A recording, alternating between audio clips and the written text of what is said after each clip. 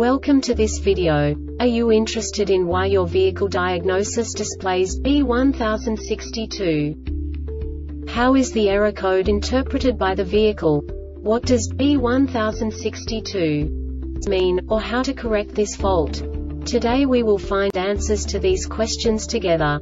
Let's do this. First, let's look at the history of diagnostic fault code composition according to the OBD2 protocol, which is unified for all automakers since 2000. We divide the electric system of automobile into the four basic units.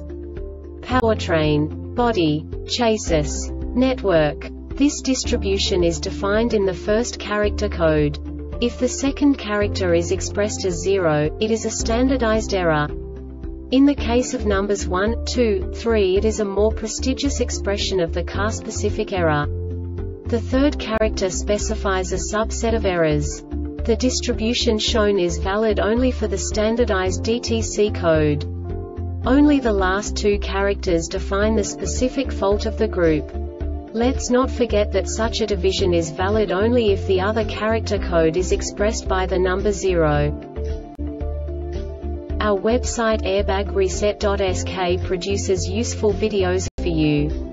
You do not have to go through the OBD2 protocol anymore to know how to troubleshoot any car breakdown. You will find all the diagnostic codes that can be diagnosed in a Suzuki vehicles. Also many other useful things. The following demonstration will help you look into the world of software for car control units. You unbelievably can move the video a bit further.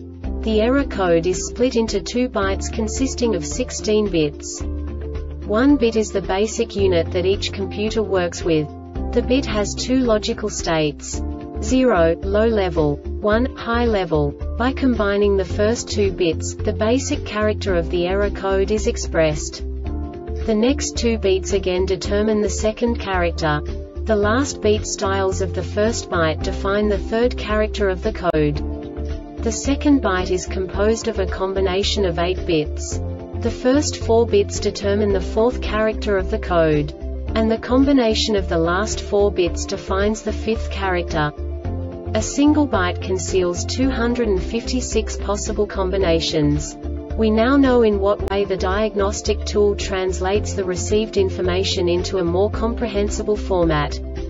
The number itself does not make sense to us if we cannot assign information about it to what it actually expresses.